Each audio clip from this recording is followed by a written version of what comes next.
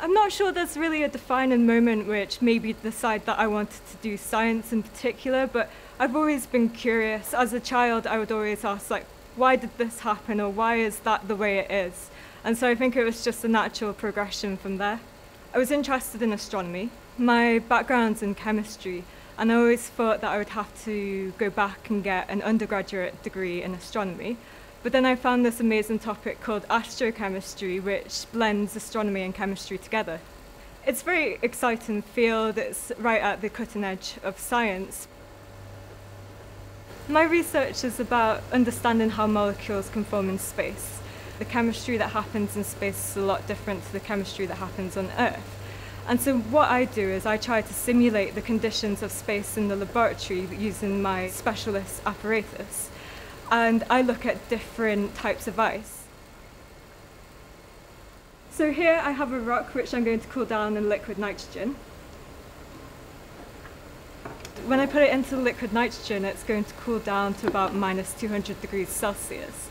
And what will happen when I remove it from the liquid nitrogen is it will form an ice or a frost around the stone.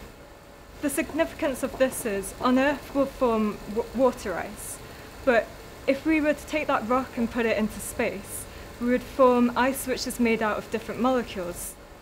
Carbon dioxide and ammonia have been discovered in space ice, and this is quite exciting because it's saying that um, some molecules will form in certain environments in space but not other environments, and it will help us understand if we see certain molecules in a particular area in space, it will help us understand like the physical conditions that are happening there because we're getting a better understanding of how these molecules are forming or why they don't form there. When I started out, I wasn't very confident. I would have been very um, frightened about talking in front of a large audience. But now I'm really excited by the prospect. I really enjoy um, describing my, my research to other people, and so I think I've gained a lot of confidence within myself. I've been really lucky with the supervisors I've had.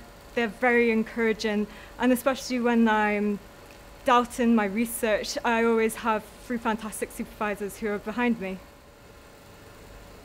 Um, so the next steps in my career is to um, get a postdoc but also to continue informing people about astrochemistry and encouraging them to um, be interested in it.